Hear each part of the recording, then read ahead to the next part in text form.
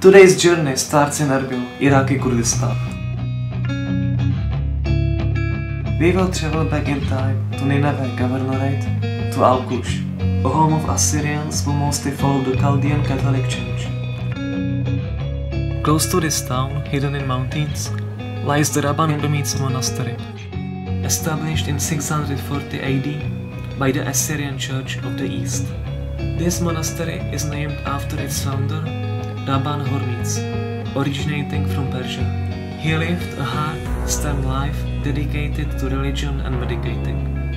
This place, full of history, has endured numerous challenges throughout the ages, including attacks by conqueror Timur, Ottomans, and the threat from the Islamic State about 10 years ago. ISIS failed to reach the town because of the intervention of Kurdish forces Peshmerga and local Assyrian militia. The monastery leads to numerous narrow caves inside Alqosh mountain, which can be only approached by crawling. The caves were used for hundreds of years for meditating. This place serves as a powerful symbol of strength for the Assyrians, one of the oldest Christian communities.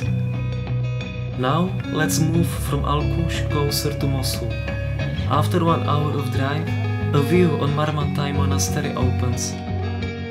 Daria de Mar Mattai, in local language, holds a significant place in history as one of the oldest Christian monasteries. Now the monastery is maintained by the Syriac Orthodox Church and has its own bishop. Its founder, Mar Mattai, fled persecution under Roman Emperor Julian, and the legend tells of Mar Mattai's miraculous healing powers. He healed the children of Assyrian king Sennacherib II.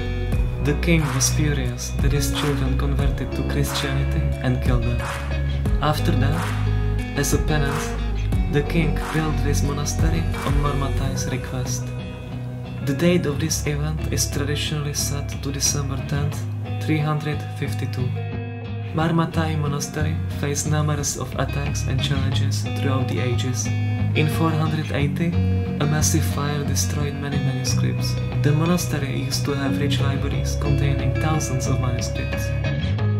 Several years ago, the threat was imminent. ISIS had advanced to the valley just a few kilometers from the monastery. At that time, some of the villages below had been evacuated and their inhabitants were temporarily transferred to the monastery. Mar Mattai Monastery once housed as many as 7,000 monks. Today, the number dramatically reduced to just a few. Did you enjoy this video and want to see more content from Iraq? Hit the subscribe button. I am staying in Iraq for 9 months and I will share much more videos.